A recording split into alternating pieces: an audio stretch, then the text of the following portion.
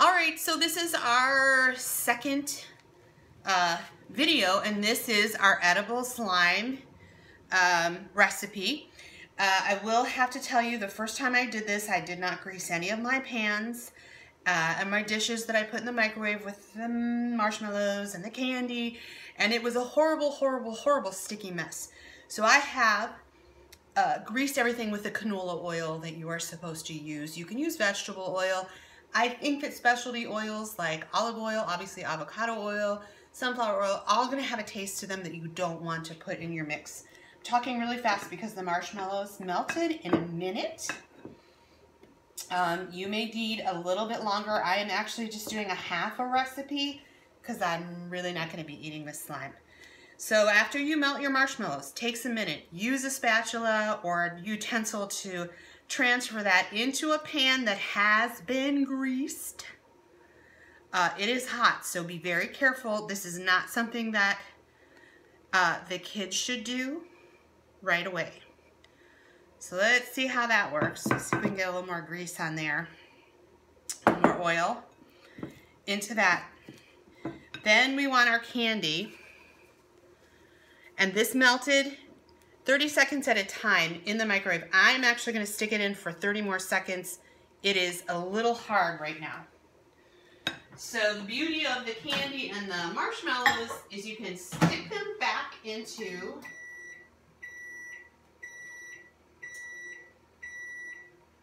stick them back into the microwave and soften them up for 10 more seconds.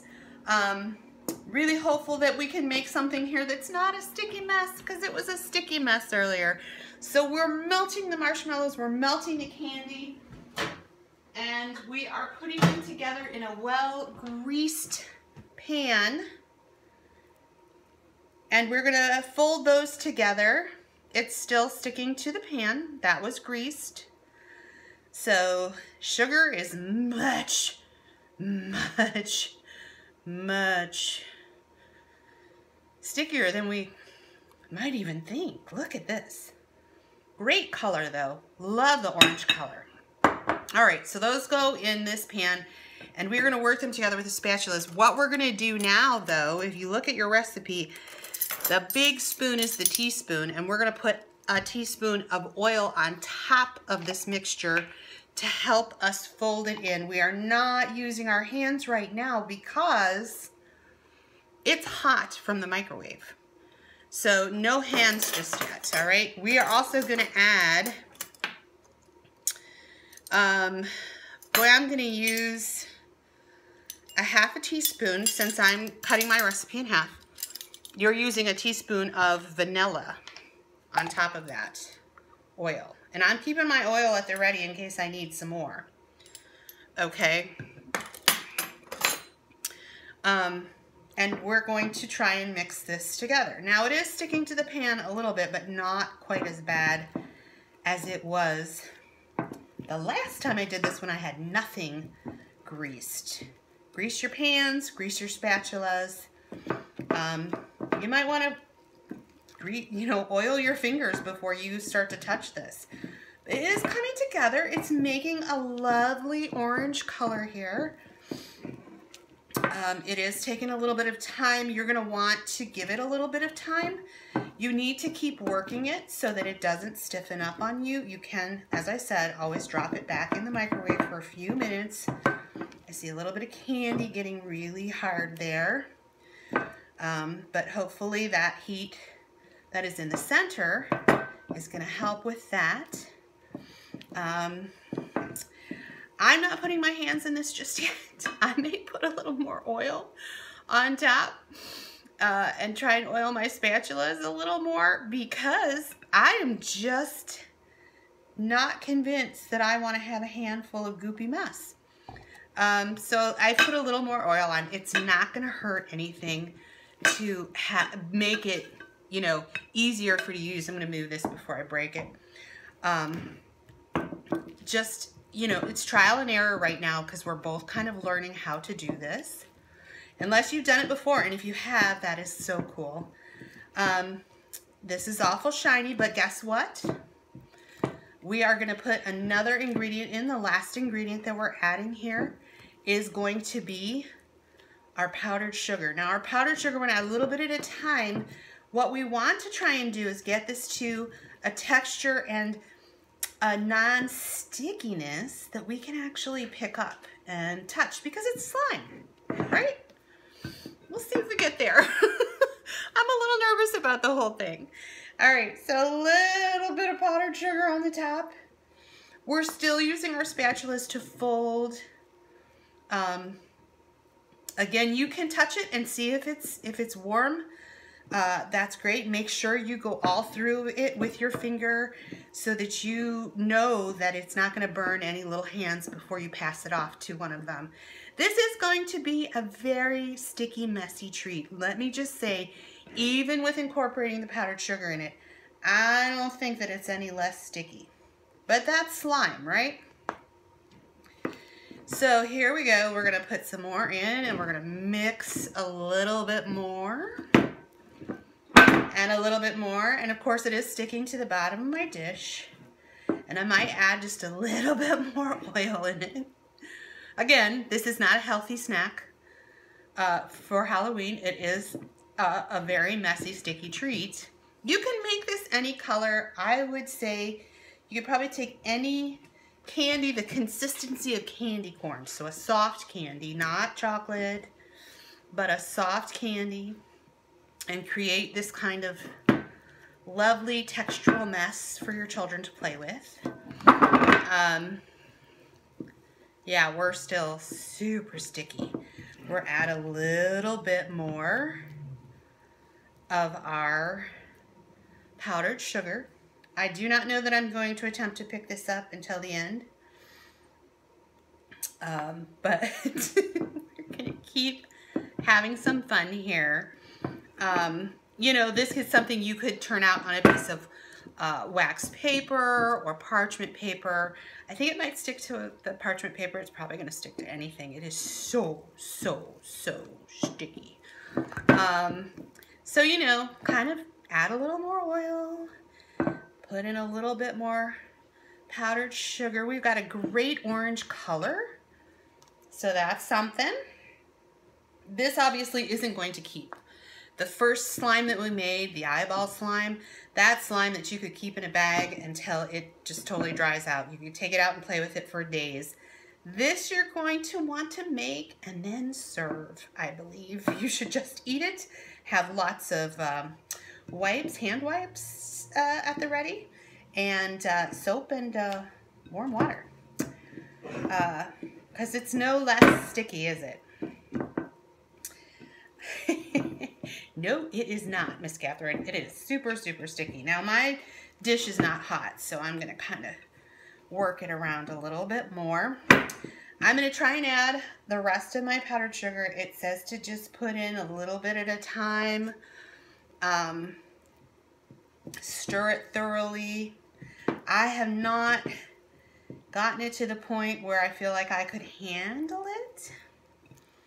Um, and I don't know that it's going to be something that you would be able to handle and your hands would come away clean at any point. So, um, this is our slime. This is, this is it. And I would just mix it up all thoroughly. One of the things that I, um, a little bit more here. It moves like slime. It acts like slime. But you can eat it. So cool. We'll try a bit in just a sec. Uh, and uh, one of the things that I found at the store, I don't think I'm going to add any more oil to it. So I'm going to cap that up so I don't spill it because I'm good at that.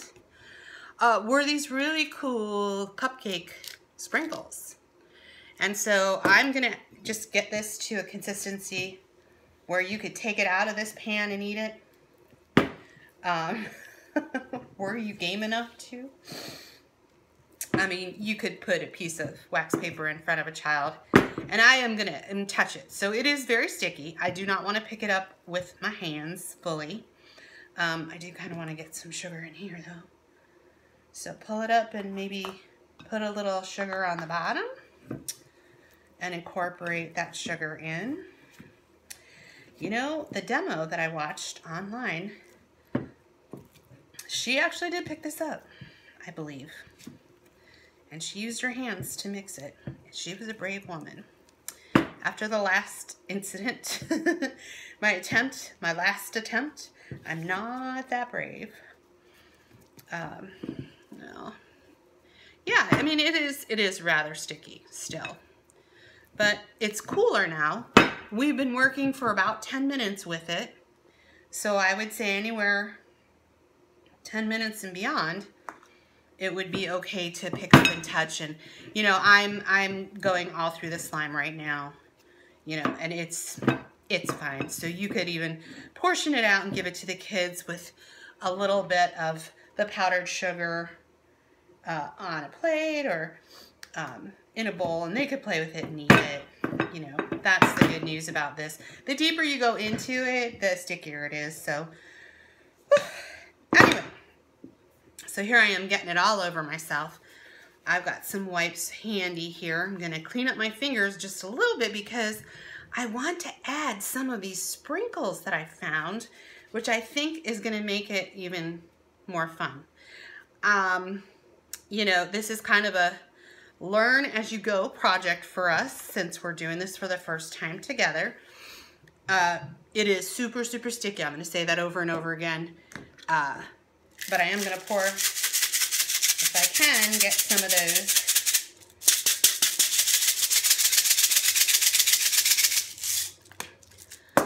Some black and purple bats in there. Let's see if we can get them to kind of show up.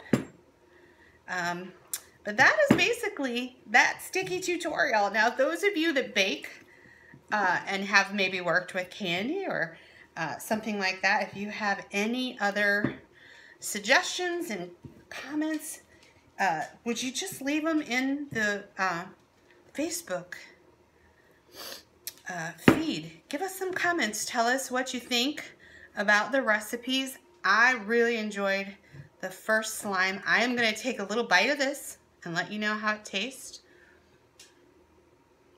Hmm. I got a little bat. Bad.